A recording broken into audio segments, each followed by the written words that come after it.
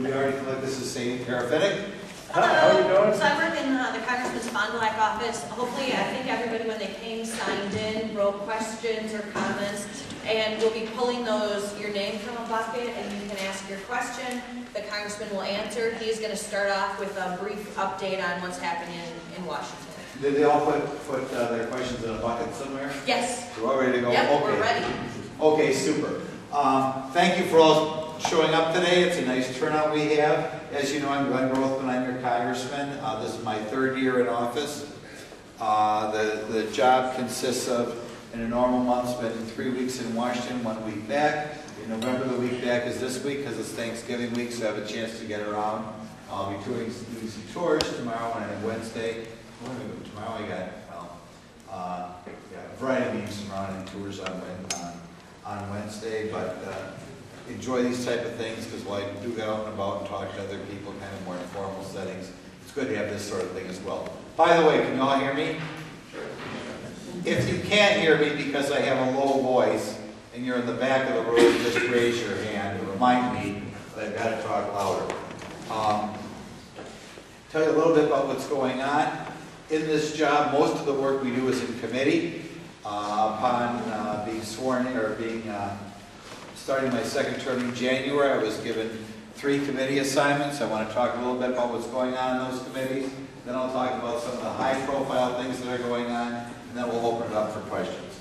The first committee I'm on is the Education and Workforce Committee. I enjoy that committee a lot. Um, The first thing we did there is we passed a bill designed to improve a little bit technical education uh, in general, so you're aware. I think right now in this country, we still have a lot of people uh, going to four-year college and not necessarily getting a job commensurate with the debt they're bringing up. If you talk to the local factories, if you talk to the construction trades, they all have shortage of people working. So what we're trying to do is we're trying to create more flexibility, uh, getting the federal government less involved with rules, so that we have more people being trained for the jobs that are out there.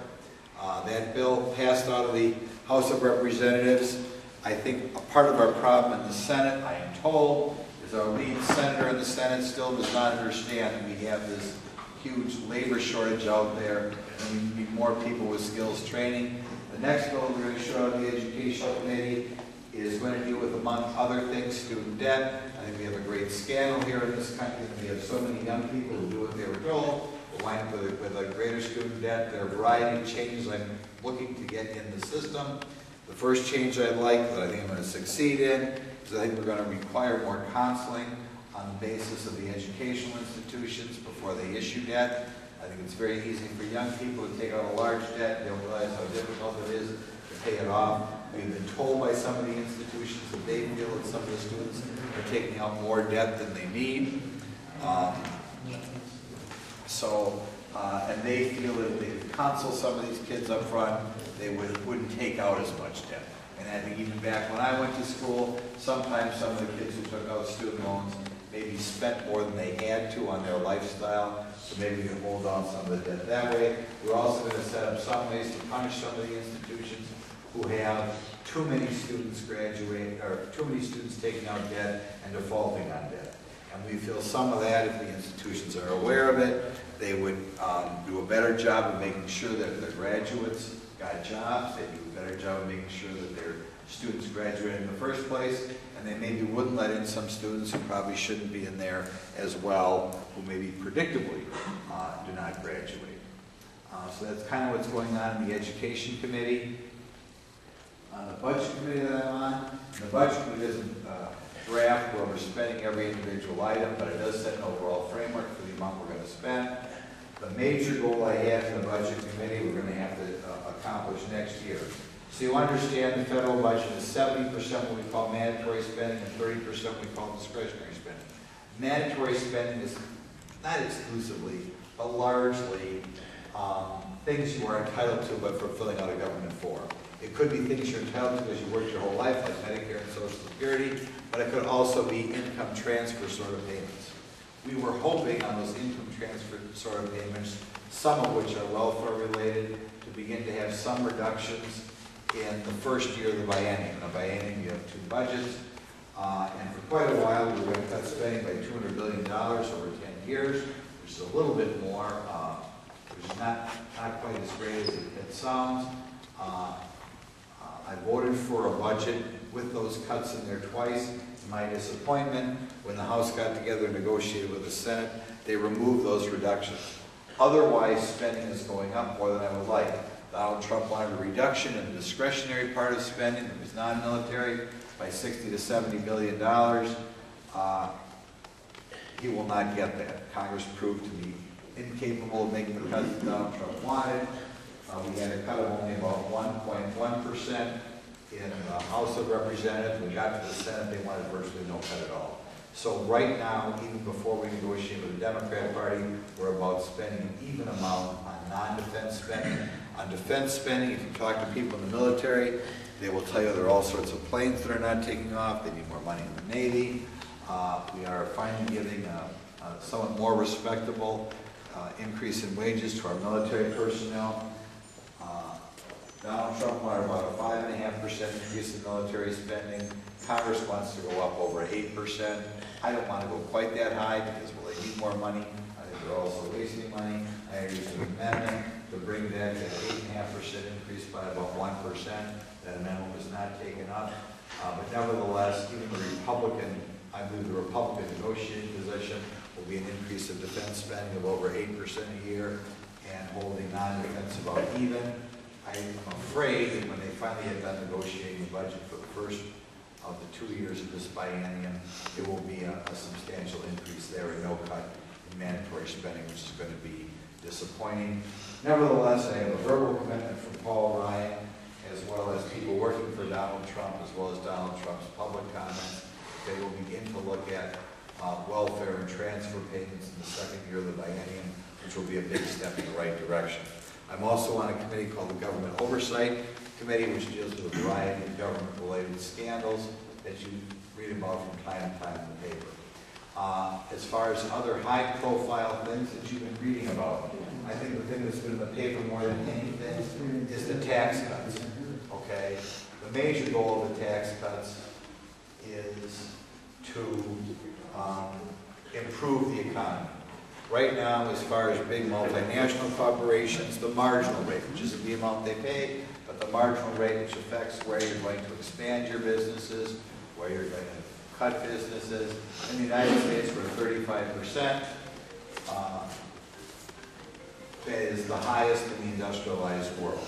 As we try to bring jobs back to America, it's hard to imagine us doing a very good job with the highest marginal rate in the industrialized world. We're going to lower that, lower that corporate rate to twenty percent. Donald Trump has also promised cuts to people on an individual basis. Um, You know, lowering the tax rates and raising the standard deduction. I think almost anybody, which I'll call an average income level, will get a tax cut under this proposal. Not everybody will get a tax cut, however. There are two uh, groups of people, both corporations and individuals who may get an increase in taxes. I think if you are a high-income individual who do not own your own business, just getting a salary, like a congressman, quite frankly, I think it's entirely possible that your taxes will go up.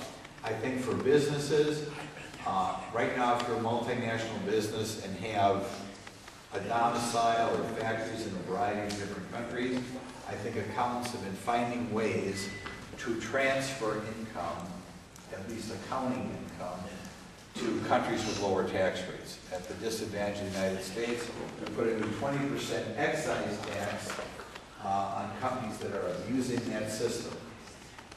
Get, I do not yet know how that's gonna work out. I'm a little bit concerned about passing a bill. We don't know how it's gonna work out as a practical matter.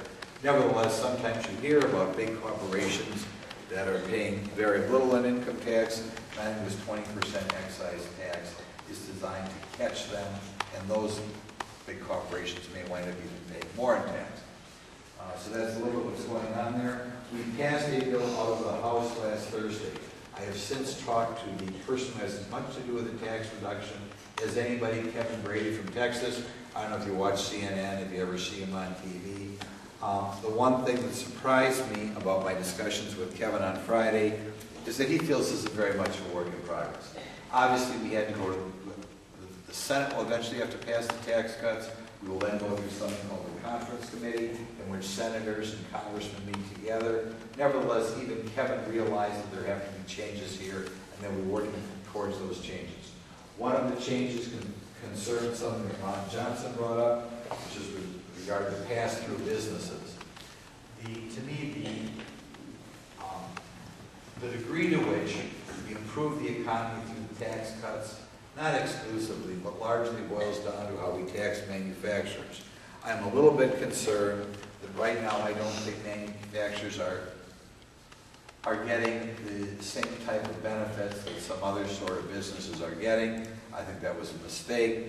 I've talked to staff about it, and hopefully we will do, solve some of those problems. Another thing that concerns me is hedge fund managers. Hedge fund managers are kind of high-flying sort of individuals that put together, not a mutual fund, but a mutual fund sort of thing for high-income investors. They have been treated favorably in the Internal Revenue Code in the past. I think that is a wrong thing. I think they should pay taxes like everybody else. They currently pay themselves on a sort of a, I'll call it a, a commission sort of basis. And those commissions were very favorably treated as capital gains in the past. The House of Representatives is raising their tax a little bit, but to me, not as much as they should. I hope we get rid of the carried interest special benefit altogether, and I weighed in that way with Kevin Brady. Um, On on the other side, you're getting rid of the medical deduction on your tax return. One of the goals of the tax return is to make things simpler, and understandably, people on the Ways and Means Committee, which put together the new tax law, we're taking out a lot of lines. I used to do taxes, I think the medical deduction largely goes to people in the worst position they are in life. Not a lot of people get it, but if you're like in a nursing home, if you have a high deductible and are having to raise the deductible in one year, you may be taking advantage of it. So I'm doing what I can to get the medical deduction restored. Um, The Senate will take up something next week. Ron Johnson is out there trying to improve that bill, uh, particularly through pass-throughs. I wish him luck in making improvements. I think we will get it out of the Senate next week. And then the House and the Senate will have to meet together, and I intend to be very involved in that negotiation. With regard to Obamacare, as you know, we wanted to repeal Obamacare and replace it with something else. We were not able to get the requisite 50 votes in the Senate. We could only afford to lose two senators. We lost three senators. I personally do not think the Republicans in Congress, Republican leadership is trying hard enough to work for a solution. Um, When the the Obamacare vote failed, I think it was in July, uh, there were three senators who voted no. One of them was John McCain, who objected to the fact that we didn't have committee hearings, and he objected to the fact that we didn't have a congressional budget office estimate. I think if Republican leadership in the Senate really wanted to get it done, they would have said, okay, John McCain, we're gonna have some committee hearings, we're gonna have a congressional budget office estimate, and we're gonna take the vote again in September. They did not do that, so I'm not sure the sincerity of it, actually wanted to kill Obamacare. Nevertheless, I've been two events in the last, uh, say, two and a half months, which Mike Pence still adamantly feels we have to do something there.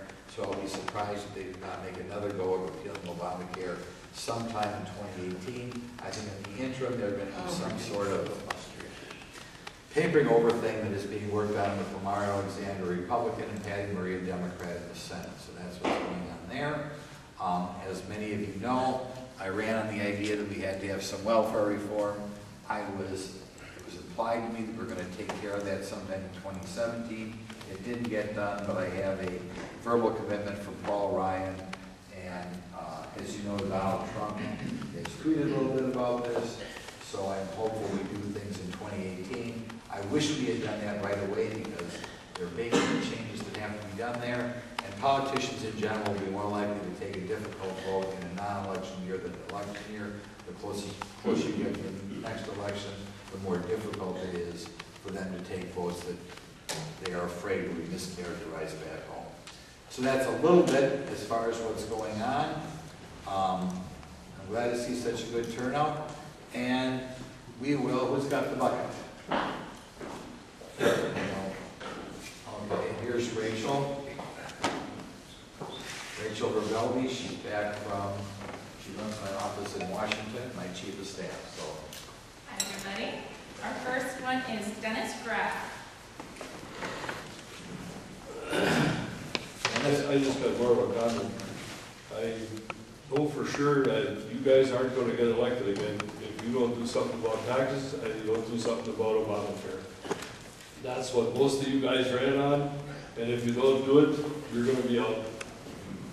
Well, as you know, uh, to repeal Obamacare uh, once in the spring, as I said, uh, Mike is optimistic we'll do things in the future.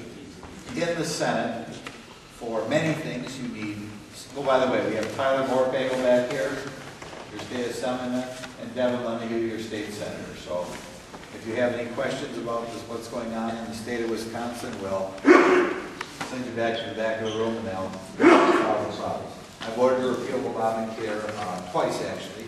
Once in, uh, in committee, because we had to go through the budget committee, and once on the floor. Well, I'm not saying it's your fault, but, Right.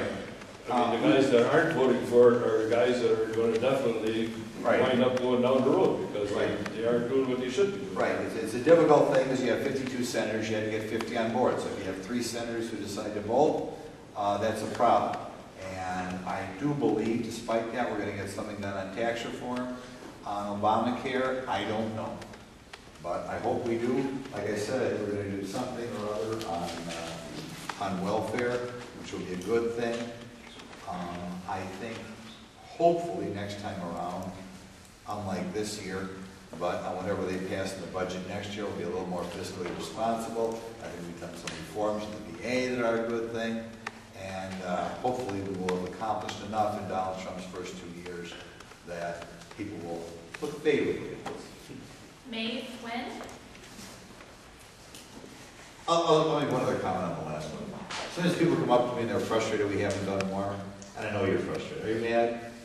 A little bit Yeah, mad. Well, I mean, I'm a It's- town, I'm a town chair in my town, and if I didn't do what the people wanted me to do, you know where I'd be, Right. down the road. I, I get madder there because I have to be there and watch it up close. So we- when things don't get done, I get, I get mad. Okay, I'm sorry, now, the next. May. May? Uh, Yes, Meg Quinn. Uh, Good morning, thank you very much for having town hall sessions. I really appreciate that you take the time to really uh, provide opportunities for the constituents to share their concerns and their questions. I wish more of your colleagues would do the same, so thank you.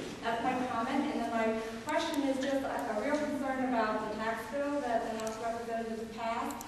I really feel like it is uh, tax cuts for the wealthy, and it really does end up hurting the middle class.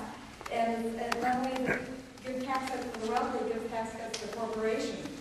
Um, middle class, I think, is really going to be hurt the most by this bill. Uh, we can no longer de- deduct medical expenses, and that's a huge issue that's impacting families throughout the United States. Uh, no longer deduct state taxes or property taxes. And one that really hurts my family is not being able to deduct student loan interest. And then finally, for all the public education and private education teachers in the state of Wisconsin, we can no longer deduct classroom supplies. And that is extremely detrimental to the young and the youth of our community. So I'm concerned about it. It's got a price tag of 1.4 trillion to add to the debt. I don't understand it, and I wish the House of Representatives would send a better bill to the Senate, so for the two of them to really come up with a better bill for all of us. A, Thank you. a- a couple comments. I'm aware that more and more of my colleagues don't have meetings like this, and the reason their constituents are not as sweet as the constituents. So I don't blame. Uh, as far as the tax bill, you gotta realize the goal of the tax bill, one of the goals is to simplify things. So what they do is they take lines off the tax bill that may be deductions and may be credits, but overall, the percentage you pay in tax drops. So when you calculate as to whether or not your tax are going up or down, uh, I think for most people, the reduction in, um, the, the reduction in rates combined with an increased standard reduction result in your taxes going down. Not everybody's taxes are going down, but largely the ones, as I look at, that are going up right now, and of course, everybody kind of thinks they're in the middle class or average, are, in general, I would say, people making significantly more than average who don't have their own business. One of the goals of the tax cuts is to improve the business climate. So uh, we want to make our businesses competitive on the international stage. So I think some individuals who own their own businesses are going to see tax cuts. But I think the overwhelming number of people, say making under hundred thousand dollars a year, which is, I think, pretty good money, are gonna see a tax cut. I think insofar as there are gonna be increases in taxes, congressmen are well compensated, we don't own our own business. I think, I think my taxes are going up, we'll have to see by the time the thing is over. Uh, but the people who have pushed the pencil enough that I didn't know what are going on, and so far as you get people mad at me who, who really have, have looked at it in depth, I think are usually people who are living on salaries or wages for somebody else's business and are making good money. Those in general are the people going up, and it's common sense to go think about it. Uh, a lot of times people on the lower income level, they don't uh, itemize their deductions. If you don't itemize your deductions, as your standard deduction goes up, that's really a big benefit to those folks together with a lower tax rate. So like I said, I, you know, we'll have to look at it, but I think the majority, the overwhelming majority of people making under six figures are gonna get a tax cut here. I'll make one other comment as far as, uh, uh, the tax bill. I first saw the tax bill two weeks before last Thursday, which drives me up the wall, and I think it's quite frankly irresponsible, but that's the world I live in. Um, Prior to that time, when I was in Congress, when people on the Ways and Means Committee were going to have to vote for it didn't see the tax bill, I saw all sorts of people on TV, both Republicans and Democrats, weighing in on the bill. And you'd have Republicans saying how wonderful it is, our tax are going to go down as a Ways and like spread. I did not say that before two weeks ago because I didn't know it was in the bill. And I think a lot of people on TV were saying it was wonderful from a Republican perspective, were quite frankly guessing. The same thing was true with people on the Democrat side who said, oh, people's taxes are going up, it's bad for the average guy, blah, blah, blah. These people didn't know it was in the bill either. So I would say whenever you read something more than, before two weeks ago, you had people speaking out of ignorance. And even in the last two weeks, they made significant changes in the Ways and Means Committee. Like I said, when I talked to Tom Brady, who was dealing about this more than anybody else in, in the House of Representatives, I think there are going to be other significant changes made in the Senate next week and significant changes being made at the Conference Committee. As irritating as it for me to say, I think the final bill will look a little bit more like what the Senate wants than what the House wants. And the reason is they have less wiggle room in the Senate. There are 52 senators, they got to get 50 of those 52 on board, and as a result, if any three senators say, I'm not to vote for the bill unless such and such is in it, they're going to kind of have to give them what they want. Because in the House of Representatives, we have 241 Republicans, uh, and we only need 218 votes, with the ability to have 23 Republicans vote no. Uh, It's easier to get something out of the House of Representatives than the Senate right now.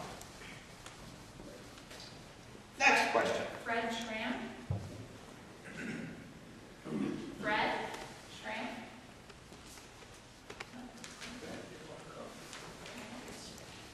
Larry Sanders. I have a two-part question. First of all, how can you possibly vote for a complex bill that's going to affect every citizen in this country when you've only seen this bill for two weeks and probably haven't read 400 pages of it? No idea how you can possibly vote for something like that. And the other question is, uh, cutting corporate tax rates according to Republicans just, uh, just passed the tax reform bill that will create jobs. If that was the case, why is it the corporations that already are gaining the tax codes paying low corporate tax rates like Verizon, AT&T, GE, ExxonMobil, and others have a job growth of less than one percent, while private sector jobs, uh, companies as a whole, pay higher tax rates, have a job growth of six percent. Um, uh, In fact, these same corporations with a low tax rate have cut, uh, these same companies with low tax rate have cut jobs in the past. So what are they doing with all the money they're making? Well, I think the point, the point is, at all times, companies are making decisions as to where they're going to expand or who they're going to lay off. They take many things into account before they make those decisions. Sometimes it's where their markets are, sometimes it's the quality of the labor force. Obviously, the regulatory climate is important, important part of that is the tax code. I think common sense will tell you if you have a marginal rate of thirty-five percent in America and ten percent, say, in Ireland, to say that doesn't affect where the companies are going to put their factories and put their jobs just defies common sense. Now, it is true, as I mentioned, that in the past, including under President Obama, uh, we had companies shifting their income or shifting their expenses so that they would show less income in the United States of America for tax purposes. And as I mentioned, there is a provision in that code, a new excise tax, designed to make sure that companies who are, I, I would say, using accounting gimmicks to avoid paying their share in the United States are gonna pay their share. For whatever reason, it hasn't been put out there a lot. Uh, my guess is it's a little bit unsure how it's gonna be implemented, so maybe some people are embarrassed about it. I don't think Democrats don't, probably don't wanna talk about it as much because I do think there are corporations who are gonna be paying more under the new law than they have in the past because that twenty percent excise tax. Uh, but in that regard, I think the tax code will encourage companies to relocate or expand the United States. Another problem we have right now that I didn't mention is something called the repatriation tax. Right now, if you earn a lot of money in other countries and you bring it back to the United States, you're taxed again. Now, obviously, we would rather have a company, if they made a lot of money in Europe, bring that money back to the United States, build a new factory, invest here. Right now, they will keep that money in Europe or keep that money in Asia because they don't want to be taxed twice on those earnings. So we're gonna, we're gonna take care of that as well. It is hard for me to imagine that this tax bill will not result in an overall improvement in the American economy. You will notice the stock market has gone up considerably in the last 11 months. Part of that is anticipation of these new tax law changes. And already, those of you out there money in IRA, money in a 401k, in your mutual funds, you have seen a benefit from these tax cuts. Now, I can't remember, you had another question, it was a long question. What was your other? How could you possibly vote for? Well, how would I vote for something? That you don't know what's going on, and you have no we idea had two what the weeks to look ramifications- at it. You have no idea what the weeks to ram- look long-term at ramifications are of this bill. We had- And then, we had- according to Quin, uh, Quinnipiac, or whatever it is called. Winnipeg, Yeah, okay. Um, University of Connecticut. Yeah, it's, which is a kind of Republican polling place, more, more. Um, I, They, they say that most people don't want this tax bill passed, well, and, and yet you don't know what's going on with it. well, we had two weeks to look at it.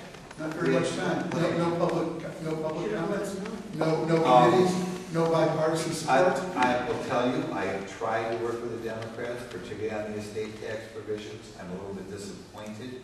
They don't seem eager to work with on stuff, and other congressmen had the same experience. I would love it if the Democrats were this. Uh, I think two weeks, well, I wish I had more time. Well, I've been critical of, of, you can tell I'm a little frustrated, I didn't see it till two weeks ago. Two weeks is enough time to familiarize yourself, with the bill. There are some provisions, like the excise tax thing, like the pass-through things, that we don't know exactly how they're gonna work out or how the IRS is gonna interpret things. And it frustrates me, and I wish we had more time to look at it. Nevertheless, I don't gonna have to cast another vote for it, probably for another three or four weeks. And that three or four weeks, I'll have an opportunity to know still more and more. That's one of the reasons why I have these listening sessions. Because sometimes people do come up with interesting questions. Things that I can take that and ask to, sta- ask questions to staff and ask questions to members on the Ways and Means Committee. Melvin Gantner? Melvin? Is this you, Melvin? Yes. Great. Uh, My question was, and it probably should be addressed to the state representatives, was did you have anything to do with the DOT determination to remove signs on Highway 45 east of Eden? Yes. Uh, I, I think we got those signs back though, didn't we? And we- I waited to get them back, and uh, I was able to weigh in because I knew some of the people in Governor, uh, in Governor Walker's office from my many years there, and uh, gave him a call, and I think he helped out a, a gal who runs a, an app, it's Apples in the name, and we helped the church over there, so I did, I did get those signs back. Thank you. Thank you, Greg.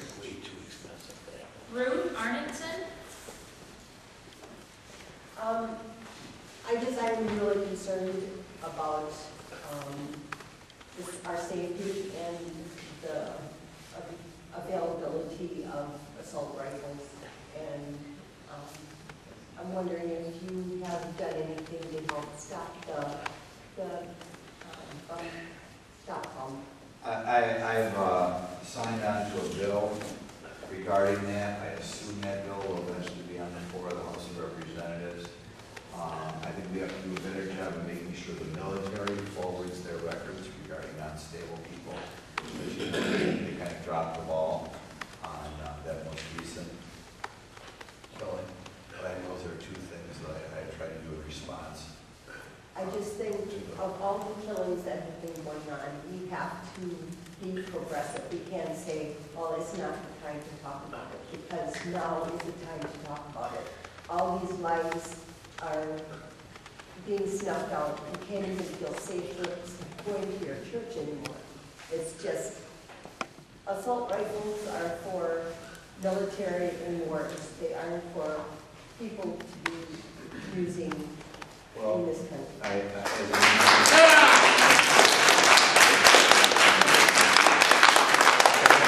I co-sign on the bill, which will make it, make it more difficult for people to turn a weapon into full automatic.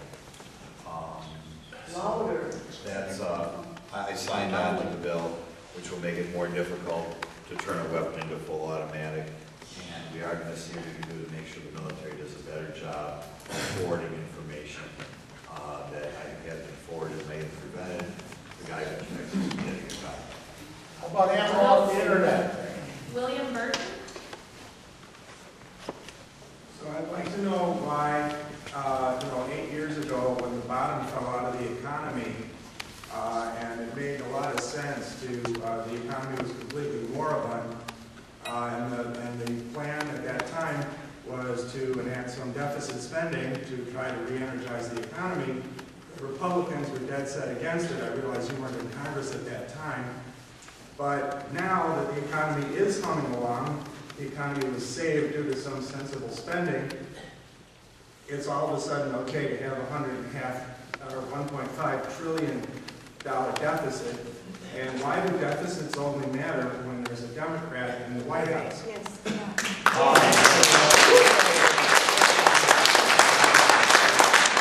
As mentioned, your, your deficit comes about when you're spending more money than you're taking in. The goal of these tax cuts, particularly on business, is to energize the economy even more. And as the economy gets stronger, your income tax receipts go up. Now, on the spending side, I think Congress has spent too much money right now. Uh, During the- our big appropriation bill, I think there was nobody in Congress who introduced more amendments on the floor of the House to try to reduce that spending. On the military side, which is going to go up well over eight percent, maybe over nine percent, I introduced an amendment to hold that back by one percent. If they don't do a much better job on this omnibus bill, which is a practical matter, which will determine the amount of spending uh, in the United States between October 1st of 17 and September 30th of 18, I will vote against that. I have been very critical on the amount of money that the Republicans have been spending. It's, it's disappointing me. I'm a little bit afraid we're headed back towards the George Bush And my question has to do with um, legalization of marijuana. Uh, Previously, your opponent, Dan Kohl, uh, said he believes that medical marijuana should be legal. In regards to recreational marijuana, the feds should get out of the way. I'm Paraphrasing that a little bit. Um, Last night, your primary opponent said on Twitter, uh, Scott Omer, I'm the only candidate behind it 100%, not just medical, but also recreational. So I was wondering your views on, Um, I, I think if you look what's going on in Colorado and what went on in California before, uh, I think that in Colorado, there's a, a huge number of homeless people out there. And it sounds okay to say, oh, we ought to make marijuana legal. But obviously, as you make marijuana legal, you have more people living, I guess, what I'll call a marijuana lifestyle. And I don't think that's a good I I would suggest, I would suggest when you go home, that you Google Colorado, you Google uh, homelessness, and you can see what you come up with. That's because everybody left the illegal states. I'm ready to move to Colorado. Well, I asked you last time, you said you were in favor of descheduling and rescheduling. yes, yes, yes, and we're gonna do something along those lines. When though? We're running out of time. A lot of us are running out of time. I'm a stroke victim from an antibiotic. What, I can't have medical marijuana? I'm 58 years old, I'm an Army veteran. None of my politicians are veterans. None of them. But yet you make decisions for me? And same with Devin? 90%, eh, between 80 and 90% want legal marijuana in this state. Eh, Look at any poll. Marquette, look at any poll you want. 80 to 90% want medical marijuana. And you guys keep saying no. There you go. There you go. What do People want Louis Bennett. Medical. Medical. Louis Bennett. Louis Bennett? Devin? Louis Bennett. Oh, sorry. Sorry about that. Okay, um, in the tax reform bill uh, that the Senate has put out, they want to delete the fines from Obamacare, and uh, I don't see why um, that would be objected to. I mean, people can still buy Obamacare, but they won't be fined if they don't want to. Uh, Why is that getting so much static? Um, I can understand. I, I think there are, are some people who feel that, first of all, I think you ought to get rid of the fines. I think the idea of some people, if you're twenty-five years old, if you don't want your insurance, that should be your right. So I I, think so too. I- The I- Constitution actually says federal government is not allowed to fine its citizens. And something in Obama times bypass that. But if you look at your Constitution, the federal government should not fine its citizens. I, I know people who have gone without insurance and, uh, you know, it's their decision and they're the type of people who don't go to the doctor a lot. uh, And I think you have that right. So, yes, I agree you should have that right. And a lot of young people um, who are healthy shouldn't be fined because they're not, um, Right. because they don't want. I- I agree. I'm glad that you agree with me. Yes. Margaret Drew. Um, so actually, on, on the heels of that, I just have to ask, that if those young people get sick or they have an accident and they need hundreds of thousands of dollars of medical care, but they've opted not to pay for insurance, Actually, that's right, everybody else who has insurance. The insurance premiums rise because of that, and healthcare costs rise because of that, because the hospitals don't just eat that loss, they, they implemented it to everybody else's fees for everything from nursing services to Tylenol. You know, it, it's, I get what you're saying, I, I do. But the truth of the matter is, insurance only works if everybody's insured. And everybody knows that, that's what it's about. Some people should opt out, and then when they need help, everyone else should foot their bill, isn't fair. And at the same time, I am a small business owner. And not having a replacement for the ACA, when you guys said you were going to, has led us to a point where today, we're supposed to meet with our insurance benefit provider. And our bill is going to be $2,348 a month for health insurance with a huge deductible up front. We are the small business owners you guys keep saying you're supporting and you're trying to, you know, provide benefits and tax cuts for. What tax cut are you having in your bill that is going to supplement almost $30,000 for me to buy health insurance for my family? And I believe that, and as you know, I voted for two different replacements for Obamacare. Yes, But they're not actual real replacements. What we have is this ginormous umbrella that we call health insurance in America. And what it really is, is five million different tiny little plans that help individual people. Every employer has their own plan, and if you work for an employer that has amazing benefits, then you are covered, and that is awesome. But if you don't, then you have to deal with what your employer offers. And if your employer doesn't offer anything, or if you're self-employed, which is supposed to be like, keep, you know, everybody says, we're the backbone of American economy, we're the entrepreneurs, we're the people you guys keep talking about. But if we don't have health care, how does he work if he's ill? How do I work if my child is ill? Nobody is taking over our business for us if we can't work. And I mean, I'm sure anybody who's ever been ill or helped somebody who's ill knows healthcare equals livelihood, and livelihood equals families and community and this economy that you keep talking about. If you are sick or you are dying, you cannot work. And if you cannot work, how do you care for your family? Yes. Um,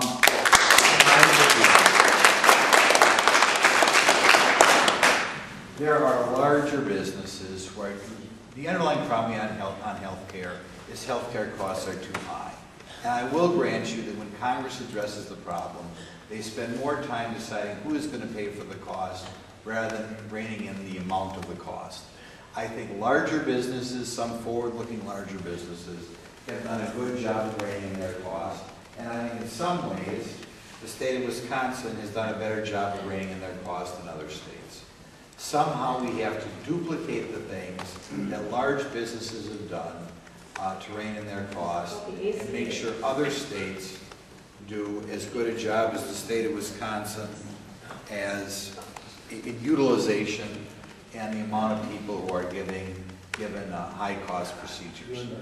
But, and hopefully, when the new plan comes up, and as I said, we tried, we tried with two plans, when new plans come up, we will do a better job of focusing on cost. Can I, can I just ask something? Why, why is health insurance still employer-based? If you took the employer-based component out of health insurance, and health insurance became free market, like you always talk about, when you buy it, like you buy auto insurance or homeowners insurance, and people had actual options and choices. I- uh, Just the mere fact that employers are in, in the mix makes it unbalanced no matter what you do, because people who have employers that provide insurance have a benefit that people who don't, don't have. I will grant you that if there was more flexibility for insurance companies to offer different plans, they could offer you plans that would cost less, because they would have less mandates in there. And that is, Increase the pool. But, but what I'm saying is, you know, i- i- in the state of Right. Wisconsin, if you drive a car, you are mandated to have insurance, and for obvious reasons, because if you're in an accident, then you need to be able to cover the people who are injured. Or if you have a loan on your car, the bank wants to make sure that it's gonna receive its money back. How is health insurance different? Um.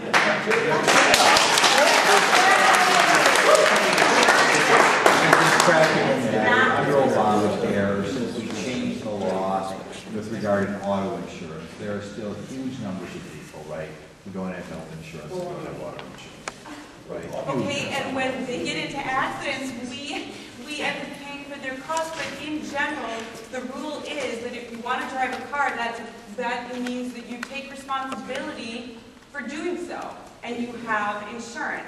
And if you are found without insurance in an accident situation, you are punished for that.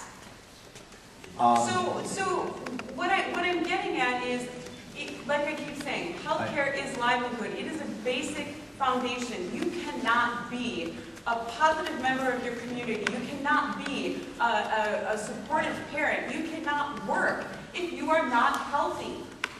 I, I think people should have the right not to have health insurance, and that- that's just fundamentally And then so. who pays for them when they have an accident? I think people who don't have health insurance, in general, go through much less costs relating to health care.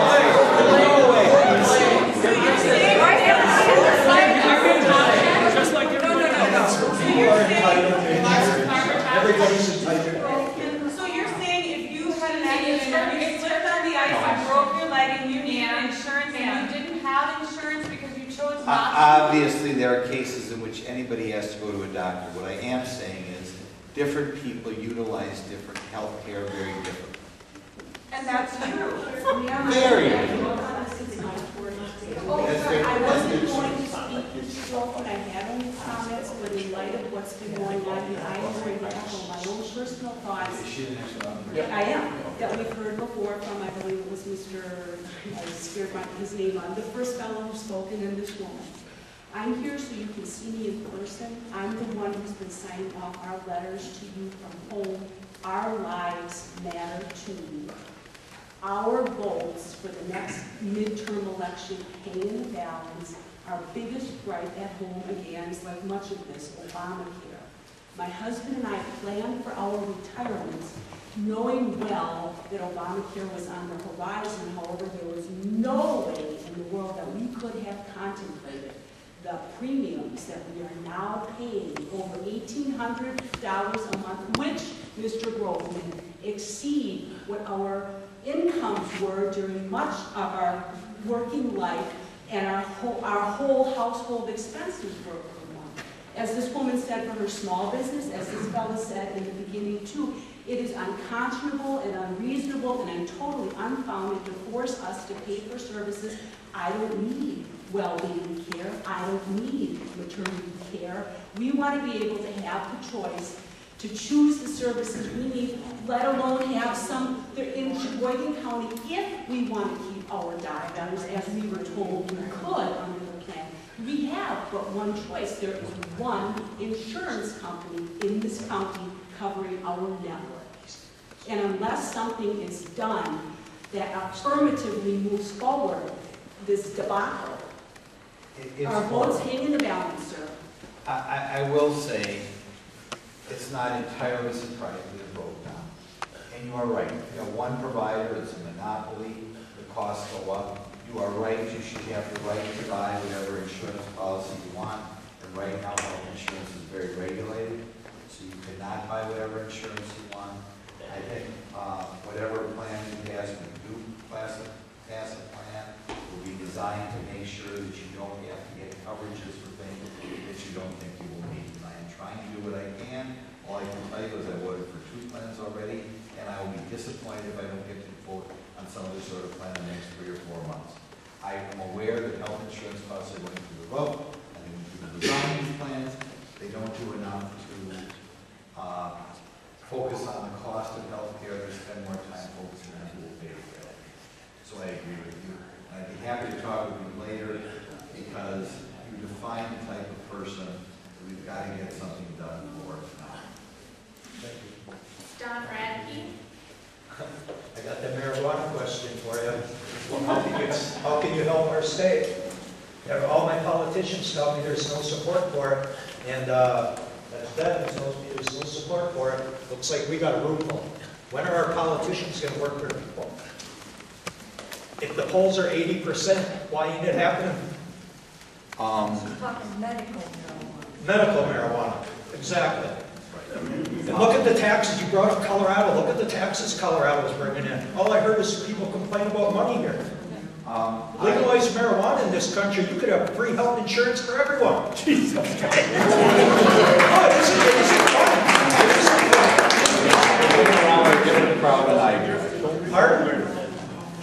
I don't know that many people who, who smoke marijuana. I- I don't. It seems like everybody's in favor of it just in this room. Medical marijuana. Kenneth Brandenburg. Um, yes, I I think we asked most of them, but, um, like, let's say we're talking, I got a major medical bill, you know, and I'm off of work, I was middle class, and I'm devastated. Now you're saying, oh, I gotta pay taxes on that, I can't take that off my taxes on the tax reform? I told you, I am working to get the medical deduction restored. The people who put together the tax plan, one of their goals was to simplify taxes.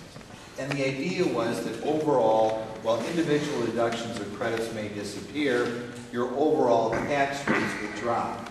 So that for the vast majority of people, their taxes would go down and it would be easier to compute their taxes.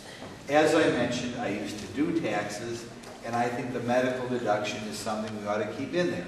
We ought to keep it in there because even though a relatively small portion of the population uses it, the people who use it are the people in the most def- desperate straits, which is why I think we ought to restore it. Depending upon the day of the week, I am told by people that it will be restored. As you know, it's in, maybe you don't know, it's in the Senate plan, and I hope the Senate gets their way in restoring it. What kind of cruelty would put that in there to begin with? Lyle Zimmerman.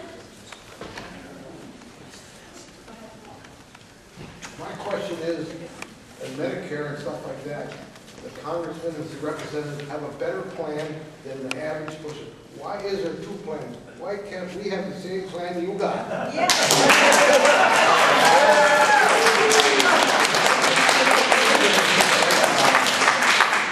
Right now, my plan is on the District of Columbia Exchange, okay?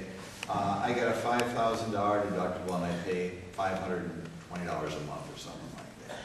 Um, it is subsidized in the sense that if I had no employer at all, and some of you here are, are on the Obamacare, you put more into that, but I think if you talk to most businesses out there, having a, a single employee pay over five hundred bucks a month for five thousand dollar deductible is kind of in the ballpark of the norm. And it, I will also tell you this, um, compared to, compared to other things, um, it is less generous than the plan for other federal employees, and it's less generous than the plans for the state employees. As a matter of fact, I think I have lost two people I wanted to have work for me because they would rather work for the state of Wisconsin, where they get a much more generous plan than we do in Congress. And it affects my staff as well as me. But that- that's what, that's what the plan I have right now. There's stuff on the internet, but I'll tell you, I I think it's either five twelve or five twenty a month, something like that, plus a five thousand dollars through the exchange is what I have right now. Gerald Law. Uh, My question was asked before somewhat, uh, repealing the individual mandate. I, I read recently where they said that 13 million people would be without insurance if that were repealed. And my point, I think, is that a lot of them don't want insurance, but you never read that in the papers that uh, they make it sound like this is a terrible thing. Is it true that repealing the individual mandate will also save uh, some expenditures, as I have read in some. Right, which will state expenditures, and as I mentioned, I don't think you should have to buy health insurance. I agree. Um, the next one is Cindy Foley. I want to make a note that we cannot answer any campaign questions here. This is an official office event, and it is against the law for us to answer campaign questions. But Cindy, please go ahead. I would like to know how much money you personally take from the NRA for your campaign financing, and I'd like to hear a little Bic more on banning assault rifles and why we have assault rifles that are legal. When I went to a dollar store the other day, somebody under 18 got penalized because they were trying to buy a bit lighter. Um,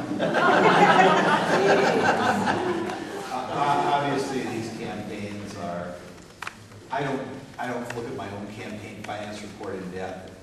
In depth, I would be very surprised if more than one percent of what I've gotten in the first two campaigns came from those guys.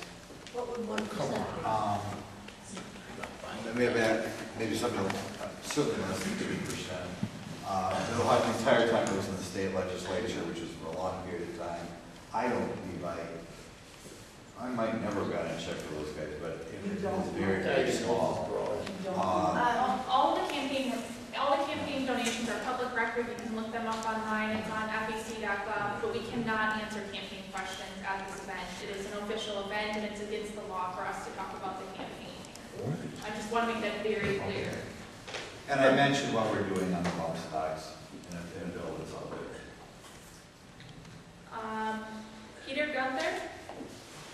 Yes, I, I have a question about uh, the, uh, uh, the money that's been paid for sexual harassment, uh, uh, to cover up uh, taxpayer money that's gone to, uh, Yeah, it was the first I learned about it. Uh, I am sure that when we get back, there will be uh, changes in the policies of the House. I, I believe my staff is already in training, right?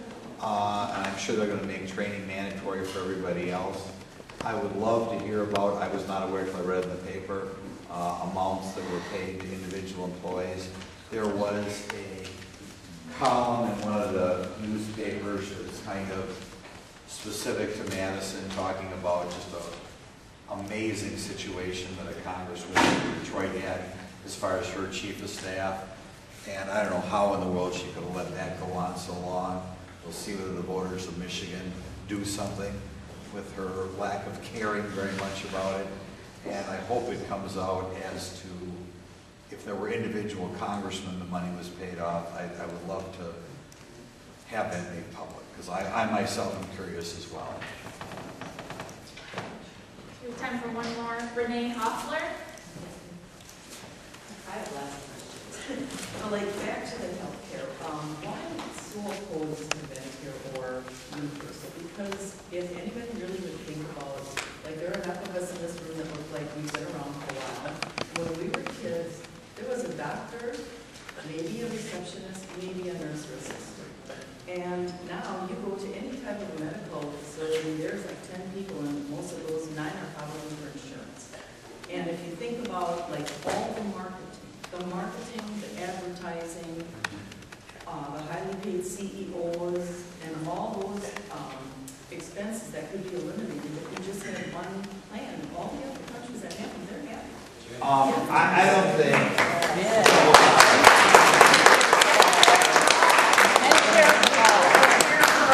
I believe one of the reasons why costs have gone up is more government involvement. Okay? Uh, In, in things in which government does not get involved, or insurance does not get involved, things like cosmetic surgery or LASIK, over time the cost falls. You have to ask yourself, why in things that the government's involved with, does the cost per procedure go up? And things the government is not involved with, why does the cost of procedure go down? As far as everybody being happy, say in Canada, when I talk to people around the country, particularly congressmen who have uh, districts near Canada, there are people coming here all the time from Canada to get an American medical care. And you have to ask yourself why they One other thing to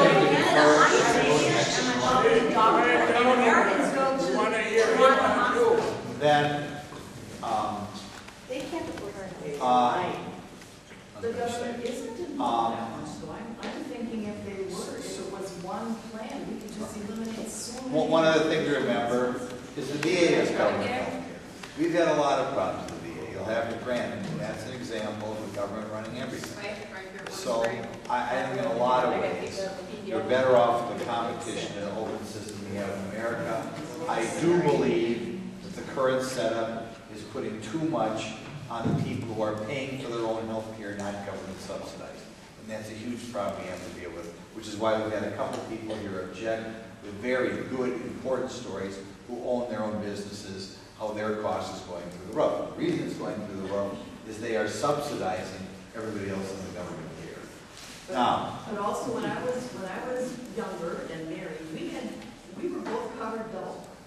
And I'm sure there are millions of people who are also like, you know, a lot of people, both, co- uh, both partners work, and they're probably doubly insured too. Someone's wasting money, and they say, oh, you could just ask, give me the money instead. They don't do that. I, I think what happens over time, many, many employers in that position either are requiring their spouse to go on their, the, the market is working their way out. I think over time, there are less and less people on both insurance. Okay, now how many more do we have? A Okay. I gotta go, I gotta get to these. Um, Thank you that. You better come back. Uh, yeah, I do. Thank you. Uh, I'll tell you what, my staff is here, maybe a couple will hang around and, and take questions. You can talk to them and we'll try to get back to you. Thanks for all being out here, being nice to you.